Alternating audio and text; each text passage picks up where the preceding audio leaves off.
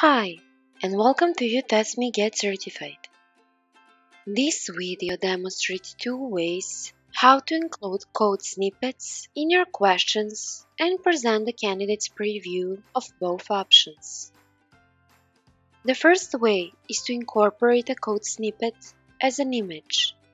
Another way is to paste the text with the syntax highlighting in our rich text editor.